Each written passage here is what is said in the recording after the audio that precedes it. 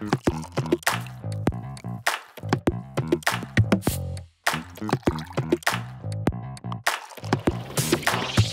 I'm Stefano. I'm Martin. And I'm Andrea. And we represent Maybe, Maybe Sammy. Sammy.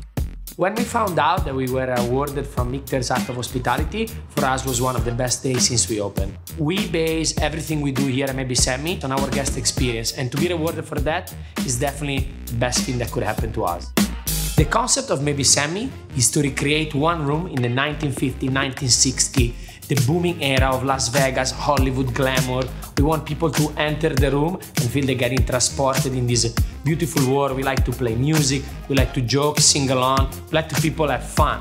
When guests come to Sammy, we want to make sure that they have the best night ever.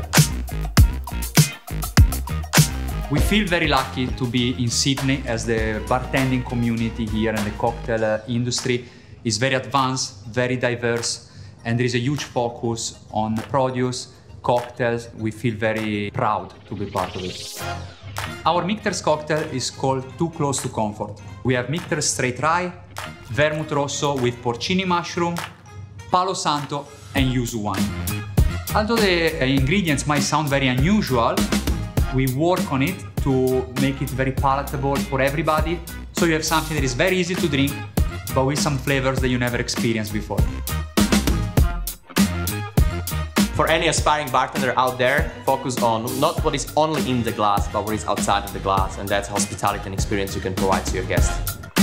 The message we want to send to the bartender community out there is that now more than ever, we need to do what we do best. We need to bring joy to the people, then we need to make them have a good time. To do that, we can only just be ourselves and be great at what we do.